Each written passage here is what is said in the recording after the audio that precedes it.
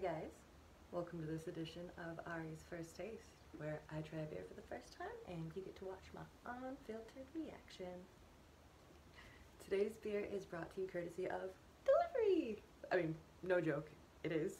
So, thank you very much to the beer gads up there that were like, oh, we shall praise you with this, because that is pretty darn huge.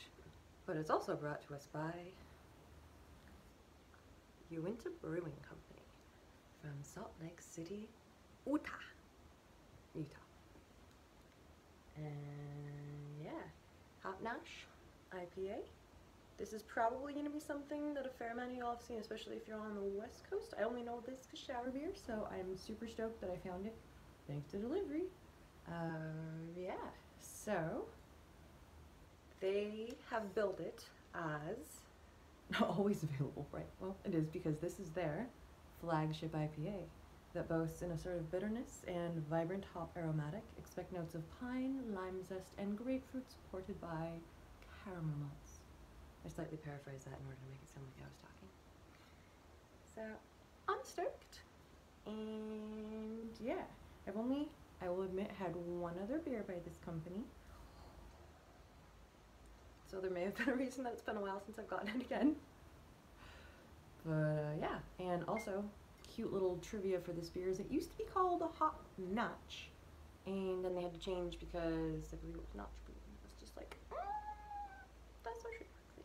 And they were like, oh, okay. So I thought this was a, a really cute compromise. So anyway, um, yeah, says it's going to be mostly hoppy, medium malty, moderate body, and know, color. And I do have my trusty Wolverine glass here to uh, pour the beer into because this is literally the only current glass that'll pour beer into besides one other one that, anyway. I dropped my delirium tremens when I was sad. Shall we? Da, da, da. You gotta have one that uh, does both things, right? Works on both ends? Used to anyway.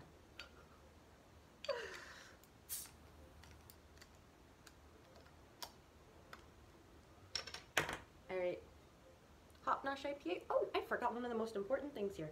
This is a 7.3 ABV. So, someone's gonna have a good night.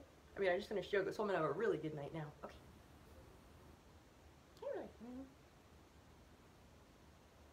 Smells like an IPA.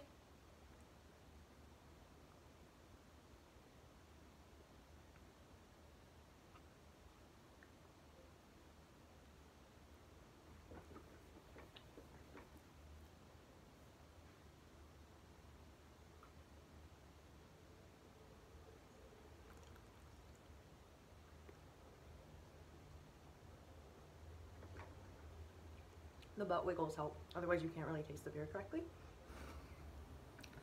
Actually, uh, those were because this is, now I understand how this could be a flagship IPA. This is good. Uh, yeah.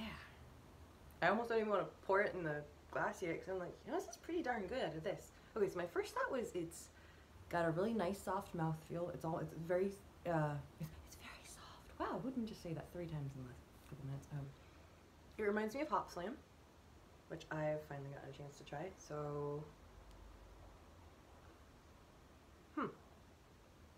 That's the closest thing I could put it to at first, but there's this like, so it's like the flavor jumps and then you go deep real quick and then you come back up again. It's almost like jumping into a pool and then you're like, oh, that wave was really nice. Ooh. I am digging this. This is cool. Wow, that was really fun. Because it was like, uh, Mm. Sharp piney hops first, and then, and then all of a sudden it like, woof, and you're like, oh, did I just swallow a peach? Insert T.S. Eliot poem here. Something about a peach. And yeah, oh, this is pleasant, but it really does have like a honeyed flavor to it that I am enjoying. Honestly, if I had to pick between this and my memory of Hop Slam, I would go for this again. Do I taste the lime?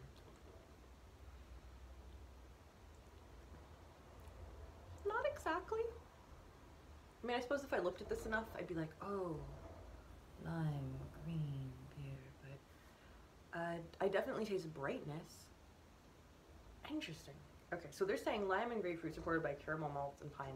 And my weird ass synesthesia is currently on a beer roller coaster of like, oh, I see the theory behind that because it's like bright, bright, acidy thing, but it's also tied in together by this depth, which I think is the honey that I'm getting out of it. Because I recognize honey as a a deeper flavor in a few ways, mostly because I cook with it so much. Um, damn, this is fascinating.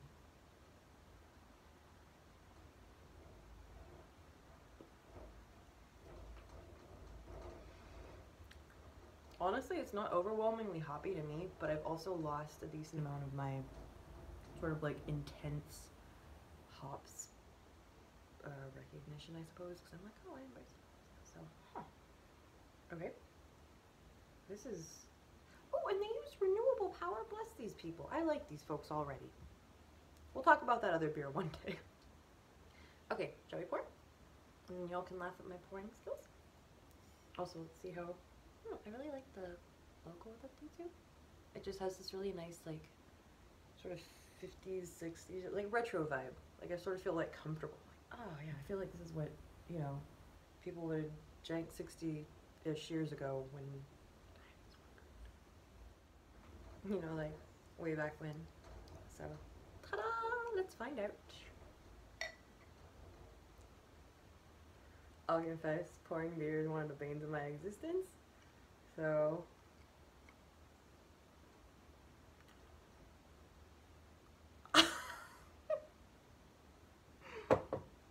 I promised y'all unfiltered.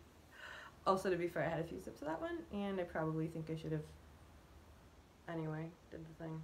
Like, do we trust this lady reviewing beer? Really? I swear, my taste buds are better than my beer pouring skills. One day I'll clock it. Anyway. Okay, so you can now see the color that it pours. It's actually really pretty. Not that any beer I've ever seen has not been really pretty, except for perhaps something that.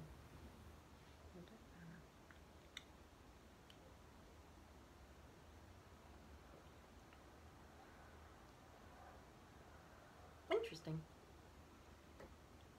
You know, I will say for a lot of IPAs, I actually prefer them in glasses because I like the way they blossom, I guess. There might be a technical term that I'm missing. There probably is. But this one,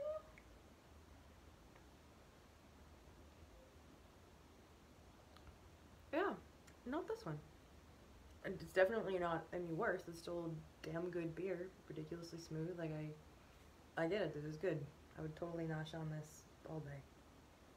Uh, but yeah, I would say this is something I prefer out of the bottle because I like the way it concentrates the sharper flavors of it. And then once you taste the beer, you're like, oh, okay, now I feel it.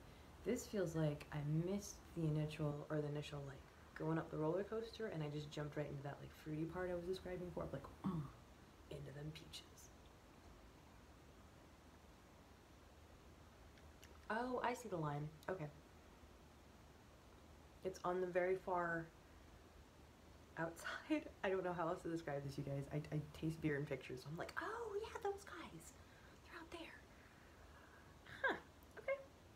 Interesting. Mm. This it definitely does have that. Hmm. Sorry, now I'm starting to get like the malts and the the sort of like honey amber-ier, and I say amber-ish in the sense not of like an amber beer so much as like when you one would look at a piece of amber and think about how that would taste. You know, like the kind with mosquitoes from like a bazillion years ago. Those are my taste comparisons. Uh,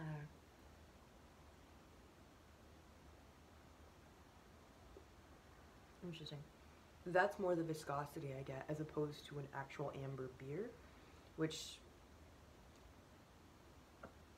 they're they're usually a lot heavier. And I, I know there's like there's all these scientific things. I'm giving you guys the weird ass synesthetic. Let me draw pictures of your beer with my brain version. Uh, but this is yeah. Hmm. Thank y'all. I'm super stoked that I have another five of these to go through. I'm going to savor this one. So y'all, this has been Arri's first taste of Uinta's Hop Nosh IPA at 7.3, 7.3, 7.3, 7.3. And I would definitely get this again. I would honestly love to order this on draft just so I could taste it the way, you know, it comes not this way. Um, but I would definitely, definitely, if I were to compare this to anything, it would, yeah, Hop Slam would be the closest. And I was trying to think of like a more West Coasty thing. I was like, ah. Nothing really comes to mind for this one so much currently. Like this is just, oh, yeah. I dig. Go try this. See if you enjoy. Let's chat. And sneak. Wait.